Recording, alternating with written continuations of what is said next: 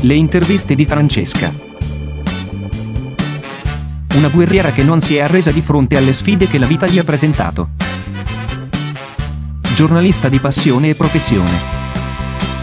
Realizza interviste per OK Mugello tramite l'ausilio della tecnologia che gli permette di interloquire grazie ad una voce sintetizzata.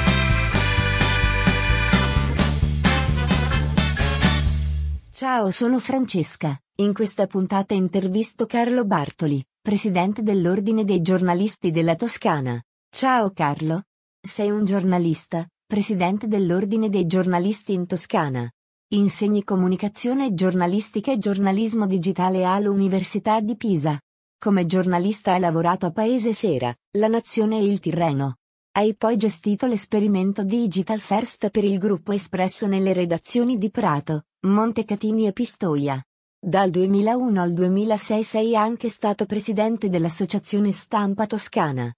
Io, come sai, sono molto interessata al mondo del giornalismo, e sfogliando il libro Introduzione al giornalismo, ho notato che sembra quasi un'enciclopedia e il mestiere di giornalista viene rappresentato come un difficile lavoro. È proprio così? Quella di giornalista è una professione bellissima, affascinante, anche se effettivamente piuttosto complicata.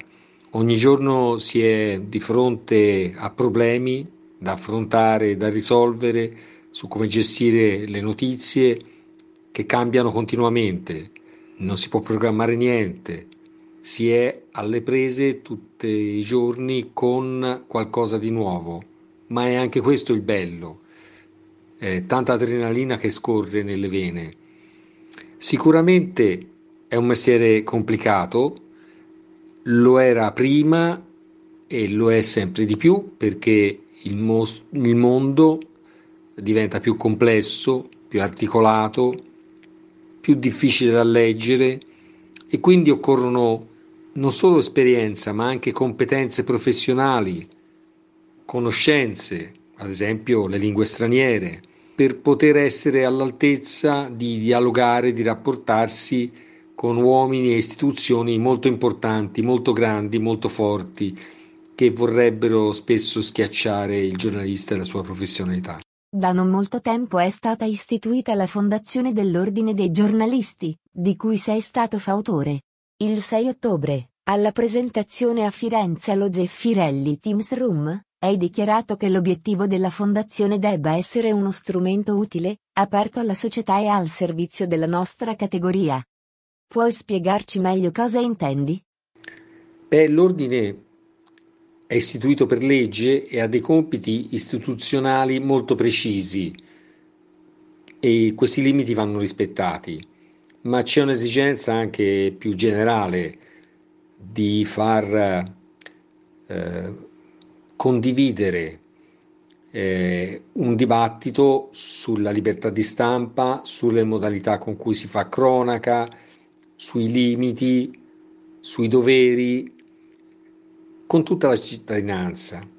Nessuno può essere escluso da questo dibattito e abbiamo pensato alla Fondazione come lo strumento migliore per essere un veicolo di dibattito e di confronto e il primo momento importante è stato a settembre un grande, una grande manifestazione, un grande convegno a cui hanno partecipato oltre 450 persone, di cui quasi la metà studenti delle scuole medie superiori, sui pericoli che corre la libertà di informazione in Italia, i tanti casi di giornalisti minacciati, i tanti casi di giornalisti anche eh, colpiti con violenze fisiche per impedire loro di fare il loro mestiere. E non è tanto un problema di salvaguardare la incolumità di alcuni professionisti, che pure è un valore importantissimo, ma è permettere all'opinione pubblica di avere un'informazione che non subisce condizionamenti dalla violenza di personaggi che devono e vogliono far valere interessi privati poco puliti. Il 15 ottobre a Borgo San Lorenzo è stato organizzato da Ocmogello la presentazione del tuo ultimo libro, L'ultimo tabù, che tratta il tema del suicidio nei media. A questo proposito ti pongo una serie di domande. 1. Perché ritieni importante questo tema? 2. Ci spieghi il ruolo che svolgono i media sul suicidio? 3. Cos'è l'effetto Werther? 4. In Italia c'è una adeguata presa di coscienza tra i giornalisti sui modi di trattare i casi di suicidio? Occorrono, forse, delle linee guida di comportamento?